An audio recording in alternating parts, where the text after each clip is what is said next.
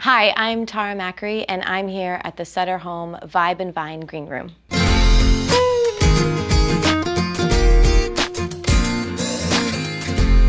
The best thing about visiting Napa has been the wine, red wine in particular. The food, we ate at some amazing restaurants.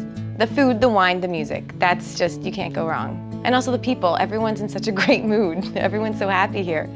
It could be because of the wine, but still.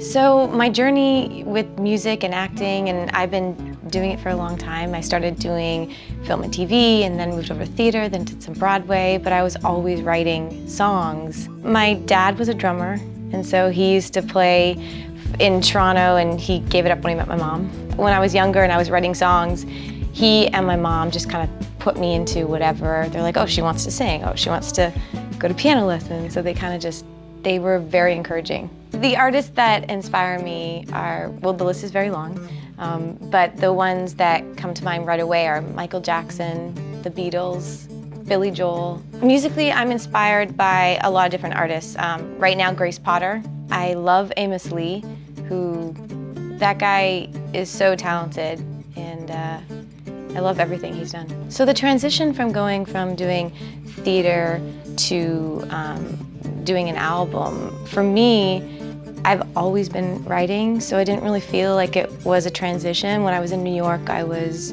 um, doing eight shows a week, and then on Mondays I'd go and play in a club like Rockwood or, or somewhere.